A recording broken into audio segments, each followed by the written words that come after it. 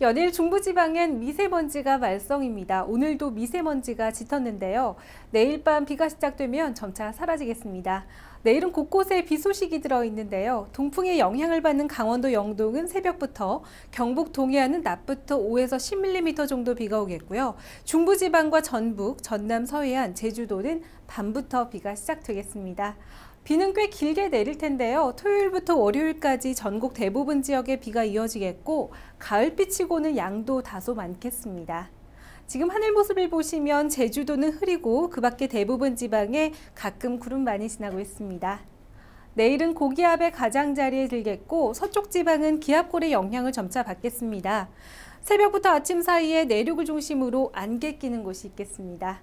중부지방 점차 흐려지겠고 강원도 영동은 새벽부터 강원도를 제외한 중부지방엔 밤부터 비가 오겠습니다. 아침에 서울과 강릉 10도로 시작해서 낮 기온 서울 17도, 강릉 13도, 대전 19도가 예상됩니다. 남부지방도 흐린 가운데 경북 동해안은 낮부터 전북과 전남 서해안, 제주도는 밤부터 비가 오겠습니다. 아침 기온 전주와 대구 9도, 낮 기온 전주 19도, 광주 21도, 부산 19도입니다.